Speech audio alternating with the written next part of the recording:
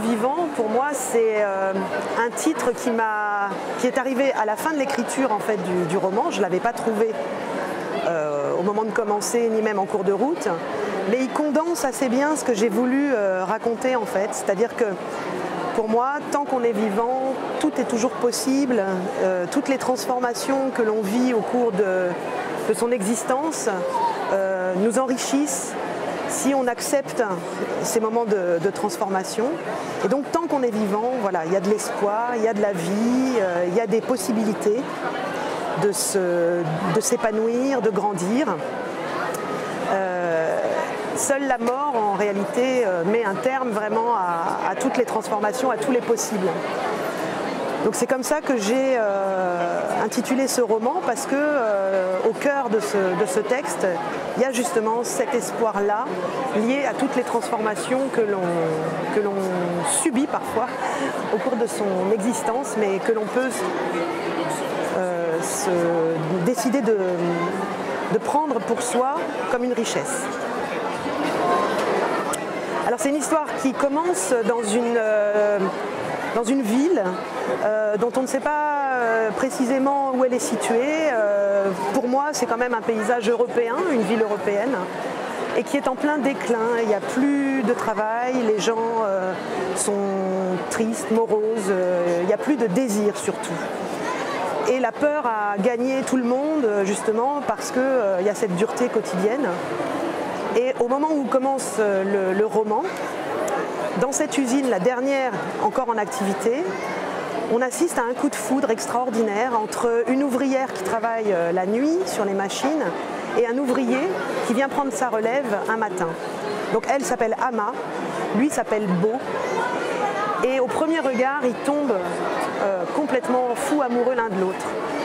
Et ce, cet amour va illuminer, va, irriguer euh, autour d'eux reste de la communauté, c'est-à-dire euh, d'une part les ouvriers de l'usine, mais au-delà toute la ville, si bien que euh, il va y avoir une, conséquence inattendue, c'est qu'un cabaret qui était fermé depuis 10 ans parce que plus personne n'y allait, va réouvrir ses portes, ça s'appelle le Castor Blagueur. Et il est tenu par Titine Grossepatte, qui est un sacré personnage, la patronne, et euh, les ouvriers de l'usine euh, vont se donner rendez-vous toutes les nuits dans ce cabaret. Et de nouveau, il va y avoir de la joie, du plaisir, des artistes qui vont euh, réenchanter leur, leur nuit sous l'impulsion de, cette histoire d'amour. Malheureusement, il va y avoir une catastrophe industrielle dans cette ville qui va arrêter brutalement justement cette renaissance et Beau va être désigné par les habitants euh, de la ville comme étant euh, probablement le responsable des malheurs supplémentaires euh, parce qu'il est arrivé d'on ne sait pas où, de l'étranger.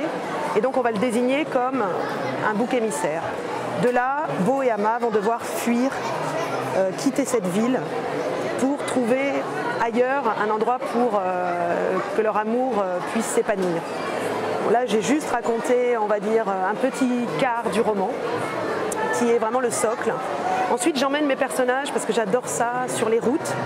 Euh, donc, je les emmène euh, dans des paysages beaucoup plus sauvages. On passe de cette ville industrielle à des lieux euh, quasiment déserts, à une forêt très profonde dans laquelle il va y avoir une rencontre avec une autre communauté, une sorte de, moment de, de, pause un petit peu dans cette vie trépidante qu'ils ont eue jusqu'à maintenant.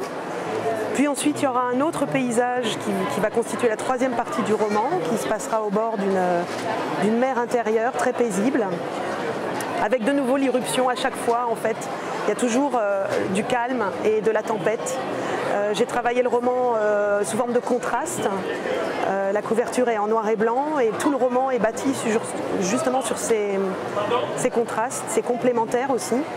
Euh, c'est-à-dire que la lumière et, l'ombre sont euh, complémentaires, le bruit et le silence, le possible et l'impossible, euh, le connu et l'inconnu. Et donc j'ai basé toute l'histoire sur ces, opposés et ces complémentaires. Et les paysages sont eux-mêmes dans ces, dans ces oppositions ou ces complémentarités.